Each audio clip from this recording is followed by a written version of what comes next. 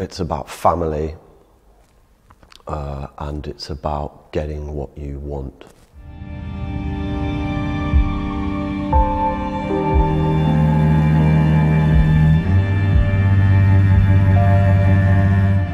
Play is essentially uh, a tug of war of power, and there's, there's almost there's no loyalty.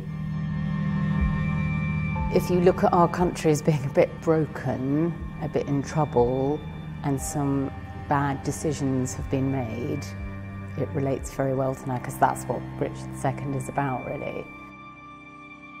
A life and death uh, political battle begins the play that then leads to a chain reaction that involves the deposition of a king and the ascendancy of a new king.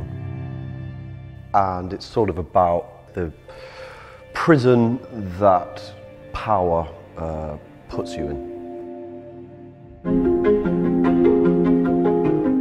Think it'll be very intense and powerful. Within what is ultimately a very violent, visceral play, um, it's incredibly beautiful and funny. So people who have seen a, a production of Richard II have not seen a production like this before.